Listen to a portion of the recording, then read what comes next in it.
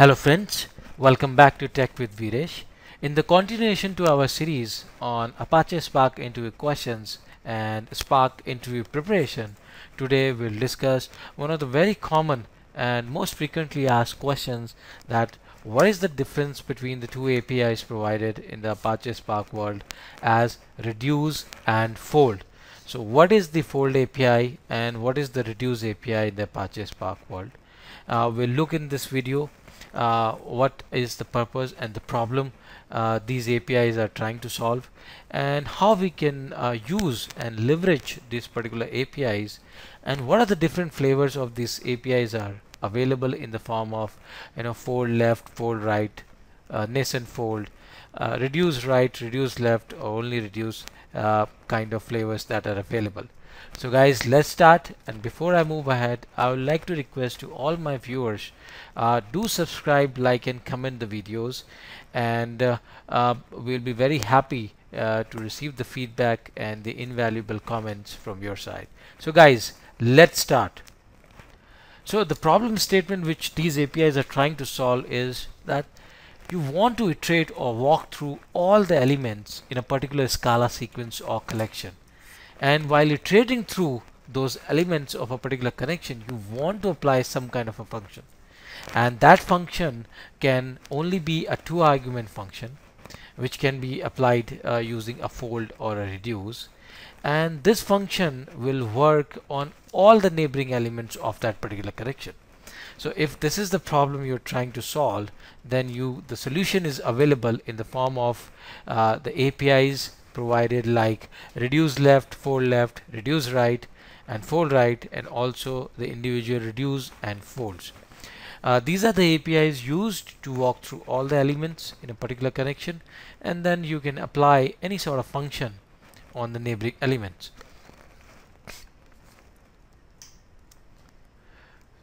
Uh, the important factor to note here, uh, uh, the one of the characteristics of these two APIs is uh, when you pass a two argument function which you want to apply on on all the elements of that particular collection the way invocation happens the way the fold and reduce APIs iterate and invocate themselves recursively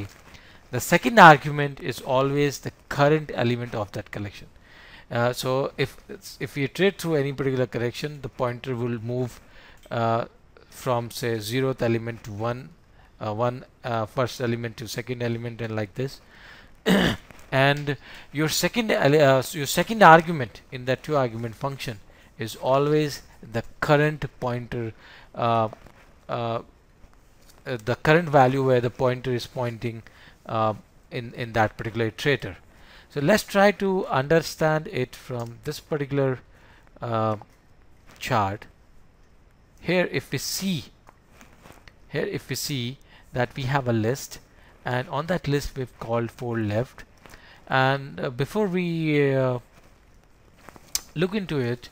just want to clear out that uh, the only difference between the fold and the reduce APIs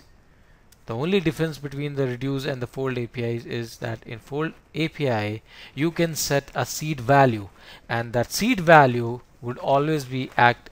and can be used as the first element irrespective whether you do a, a reduce a fold left or a fold right. That seed value will always can be used as the first element. Now if I try to now if I if I try to run a, run through this chart we have applied fold left and if we see how it is working is this seed value is working as the first element and then we have the iterator pointing to the zeroth element of the list and the operation is applied. And whatever is the output that becomes in the second invocation as the first argument. And second argument if you see here is the next element or the current element of that particular list or collection. And this is how entire iteration happens. Uh, if we see try to see uh, that how the things uh, will be performed under the hood for fold right the similar thing uh, whichsoever is the case seed value is always is the first element and then the last element here because now we are iterating to the right to left the last element which happens to be the value 9 uh, that is the that is invoked first. And then the result which is yielded by the operation performed goes as a first argument and the second argument becomes the next element of the or the current element of the iteration from right to left. So guys let's try to look it from uh, an uh, example so what we are essentially trying to do here is we got a small array here with the values uh, 1 2 3 4 5 and let's try to invoke the uh, reduce left. This is one of the most explicit way to pass reduce left reduce left where x and y are the two, are the two arguments of the function or the operation that we want to apply and the operation here is the addition so if we run it what we're gonna get the value as 15 which is the addition of all the elements in this array. Uh, another more cleaner way to write the the same stuff is using this underscore which refers to the accumulator value the yield value from the previous invocation and the current value of the array under iteration. So even if we try to run it the values will remain same just another way to write we get the value as as 15 now if we'll try to say the, the same functionality using fold uh, using fold we can use the seed value which can be which will always act as the first element. And if we see the outcome of this particular API is 35 so in this result a seed value is also added which makes it 35 let's try to understand what is happening under the scene uh, I've written a small function which is trying to find out the max value by comparing the neighboring elements of, of a list. And then I'm trying to print at each step at each invocation that what is happening under the hood. So if I try to run this particular method this uh, with a reduce left and I'm calling this two argument function which is find max. If you see here in in the prints it you say the first in the first invocation the comparison happened between the first two element of the array. The array elements are 1 2 3 4 5 right? So we are iterating the element in in reduce left from left to right. So first two elements first two neighboring elements are compared. And then whatever is the result yield goes as an input to the next invocation which is 2 now it is compared to the next neighboring element. Similarly whatsoever is the result yield goes to the third iteration similarly to the fourth iteration and eventually we got a result in the form uh, which is the output of that uh, operation performed on all the neighboring elements of the collection. And we got the value as 5 which is the maximum uh, uh element uh, maximum value of an element in that array right? If you try to apply the same uh, same reduce but this time we add a flavor of right we're trying to trade that the array or the list from right to left you can see the operation is performed in such a way they started from the last uh, element which is 5 then jump to the uh, 3 5 is compared with 4 then 5 uh, is the value yield is 5 it is compared with 3 the value yield is again 5 it is compared to 3 it is compared to 2 and eventually we got the same result as it doesn't matter here how we what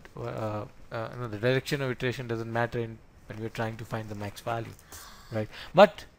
but the important point to note is it may happen in in some cases that you know uh, uh, where this uh, you know direction of iteration uh, does matter. In that cases we have to be very sure and explicit in terms of whether we want to call reduce left or fold left uh, while in other cases where we are sure that you know the order of traversal doesn't matter in that case we can simply call reduce or fold. We don't need to explicitly mention left or right. However uh, it, it, it the, the you know um,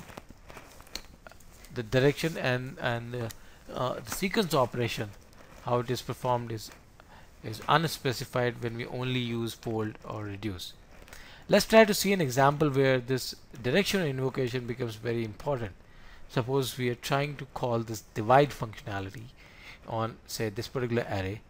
and it will make a big difference the way you you call out this division on on all the elements of this array if I try to do it from uh, left to right I call reduce left and if you see here uh, the 1 is divided by 2 first and whatever is the value yield is divided by the current element which is 3 however if I call the reduce right on on on the same uh,